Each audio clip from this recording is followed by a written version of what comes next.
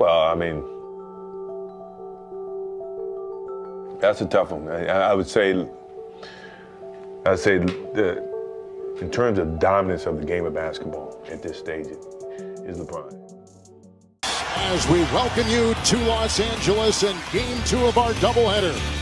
With the backdrop tonight of LeBron James and Kobe Bryant's 22nd and final game against each other. Combined, 13 of the last 16 NBA Finals have included either LeBron or Kobe. The Cavaliers bring in the third best record in the league. The Lakers have shown life.